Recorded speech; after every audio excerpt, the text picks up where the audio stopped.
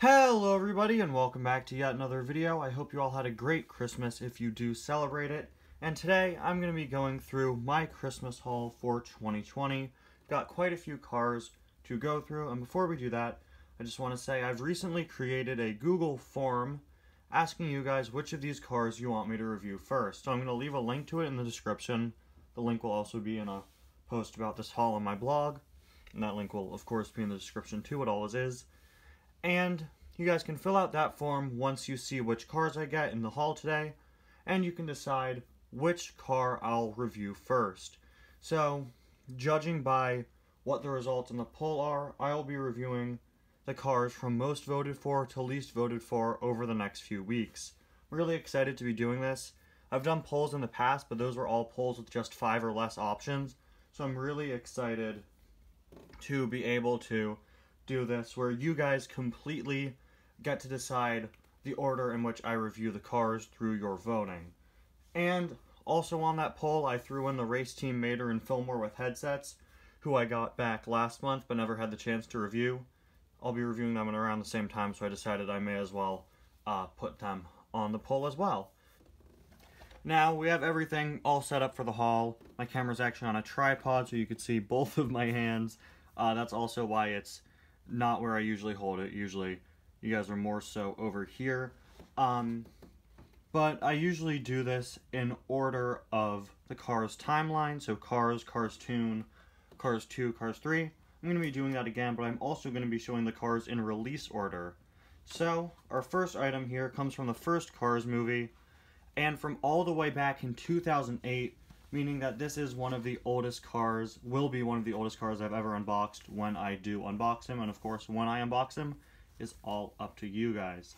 So this guy right here is none other than Axle Accelerator, a car that I'm really excited to finally have. Such a unique design. Of course he shares a model with the Rescue Squad Trooper, but I actually don't have the Rescue Squad Trooper. So it's very nice to have him. Of course, from all the way back in 2008, he was number 58. Uh, so if McQueen with bumper stickers number was before 58, um, then that means he's still the oldest car I've unboxed. But if Axle came out before that McQueen, then he will be the oldest car I've unboxed, and I think that's really cool. So now let's move on to our next item here, which is a 2009 Chase that would be none other than Impound DJ. The Impound variants of the tuners have been on my radar for the longest time now. I'm really glad to have one of them. Now I've got to get uh, the other three, but really excited. It's been years since I've unboxed a Race-O-Rama car. I think I've only ever done two, the Lenticular Sarge and Saluting Sarge. It's funny, they were both versions of Sarge. Um, yeah, really cool to have one of the impound tuners finally. Uh, and like I said, now I just have to get the other ones. But I could definitely do some fun stuff with this guy in Cars Adventures. So I'm really excited for that. Up next, we have what might just be my personal favorite item from this entire haul. I'm shocked that I got this and I'm so happy I did. It is Mater with Hood. If you know me, you know I love uh, my Mater variants.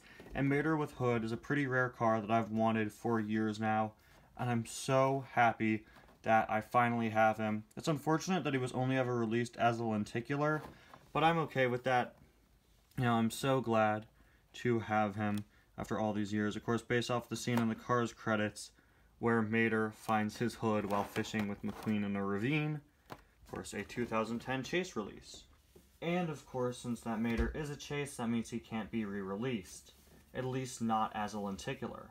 You see, one time back in 2016, Mattel found a loophole.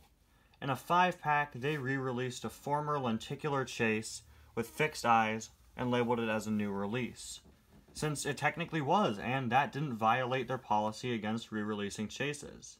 But why just explain that when I can show it to you, because our next item right here is the Radiator Springs Cleanup 5-pack.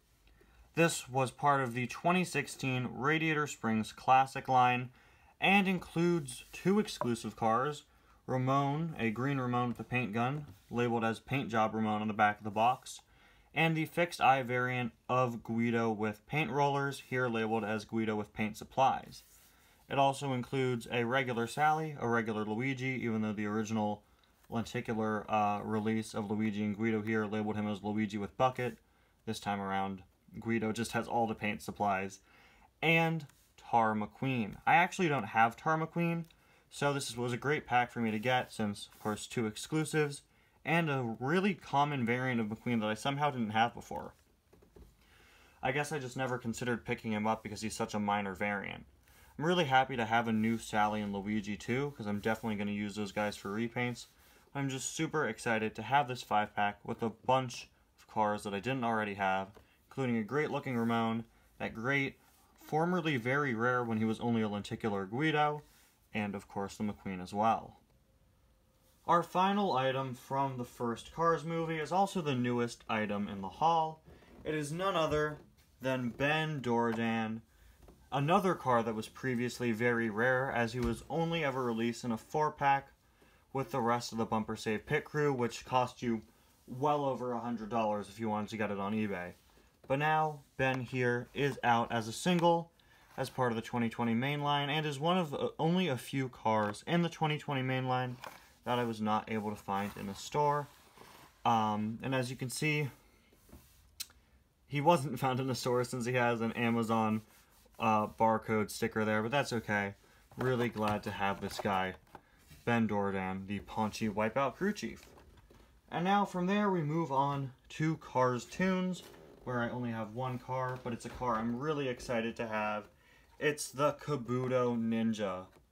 I have really big plans for the Kabuto Ninja and Cars Adventures. I'm really excited to start using that. I'm probably going to do it really soon in the series. A great release, one that's definitely great to have more than one of, uh, although of course this is my only one, and one of just a few tuners that I didn't have from Tokyo Mater that are on the affordable side and won't destroy your wallet. I'm looking at you, Yojimbo, and bye-bye to your wallet car. Great release. You guys know that I love getting cars from Tokyo Mater and the Tokyo scenes in Cars 2. This is just another one to check off on my list. So now let's move on to Cars 2, where we've got some more great cars. Up first, Alex Vandell, a car that I think is a little disappointing. This guy is the car that goes through airport security at the airport in Cars 2, and they do a really clever joke there, um, and a very predictable joke where he goes through the metal detector and it beeps because he's a car, he's metal.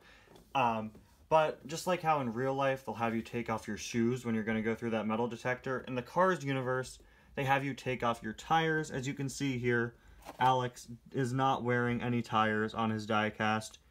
I'm just a little disappointed though because if you look on the artwork, his wheels are much, much smaller, and here the wheels are absolutely huge. What a very nice release. Another chase. Um, a pretty unique one. Even though he doesn't have any tires, I could definitely get some use uh, in videos with this guy, just using him as a background character.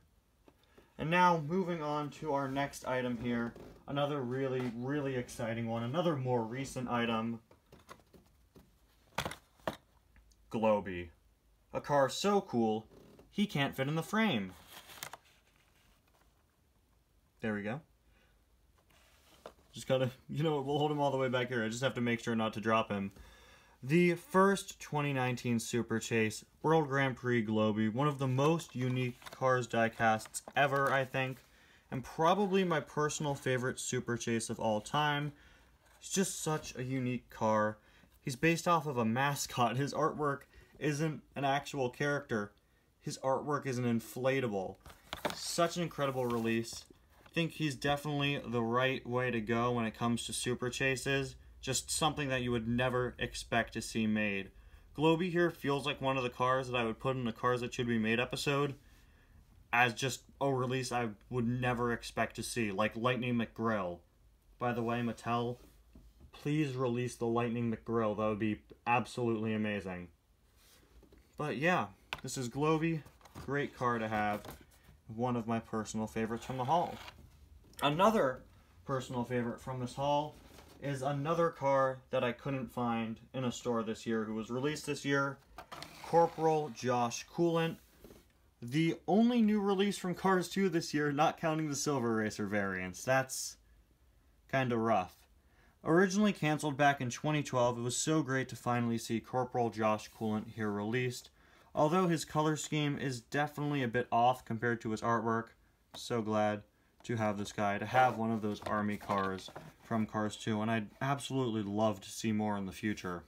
And that's actually it for the 155 scale diecasts in the hall, but there are still four cars left, one from Cars 2 and three from Cars 3, all of which are Disney Store pullback releases.